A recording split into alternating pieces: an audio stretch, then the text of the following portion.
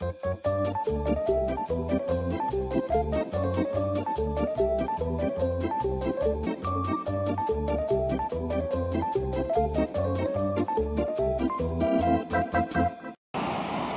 ク間列車動画第106回、大阪メトロ、南港ポートタウン線のタンク間列車です。この列車は、平日に大阪府の中区等を、14時47分に、出発する、コスモスクエア行きのもので、車両は200系4両です。ここは、中区東駅、貨物船や客船が出入りする、大阪南港の駅の一つで、大阪の海の玄関口と言えます。ホームへ上がると、日差しが入る明るいホームですが、建設から来年で40年となり、年季の入った感じを受けます。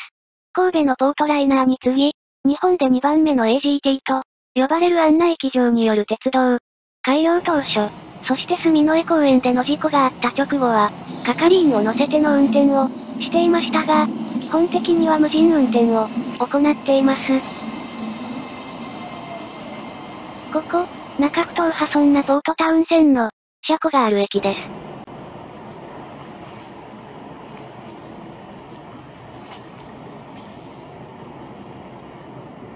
日中には、数本、これからラッシュが始まる時間の前後に、この運転系統は設定されています。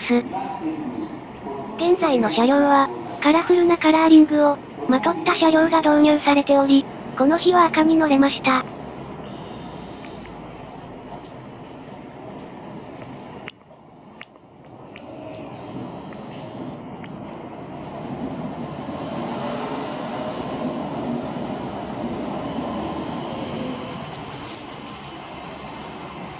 して、このように開けた全面展望の席にも到達できます。春の大阪祭りと題して、4本ほど大阪府内のタンク間列車を公開します。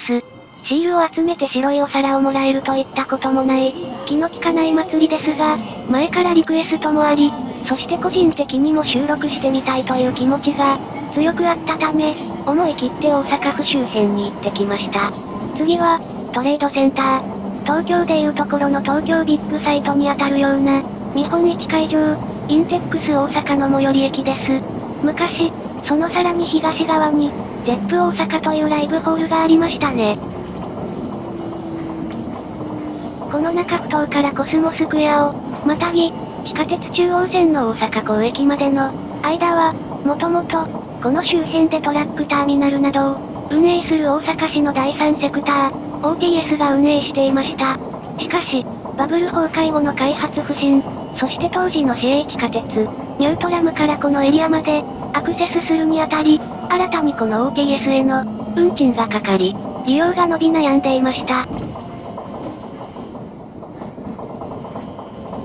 トレードセンター前、トレードセンター前、右側の扉が開きます。ごこんなもん、同じ会社に任せといて、安う乗れた方がええんちゃうか？といった声があったかどうかわかりませんが、現在は大阪メトロが運営するという方式に変更され、この区間をまたぐにあたり、運賃に新たに初乗りが加算されることが解消されました。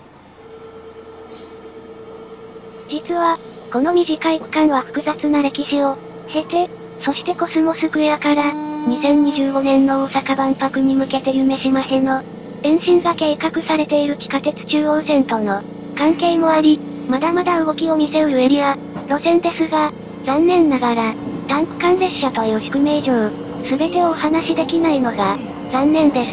トレードセンター前には、アジア太平洋トレードセンター、通称、大阪南港 ATC、または、単に ATC という、イベントホール及び商業施設があります。ウプ主も、昔行ったことがありますが、臨海エリアによく見られる商業施設という感じで、大阪のウォーターフロントを、眺めつつ、優雅にイタリアンを食べて帰った記憶があります。もちろん、サイゼリアで。ここから、ゆっくり地下へと入り、コスモスクエアに到達します。この階層の下には、下鉄中央線のホームがあり、2階層となっています。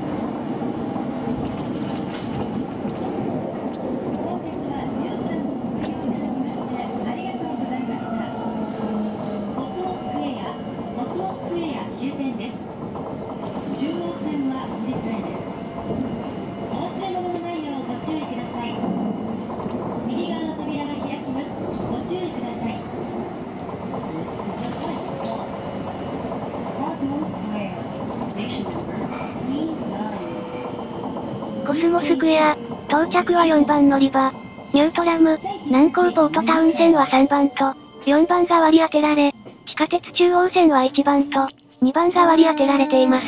到着しました。降りてみましょう。駅は、一面2線です。到着したホームでそのまま折り返しとなります。地上へ上がってみると、周辺はこんな感じです。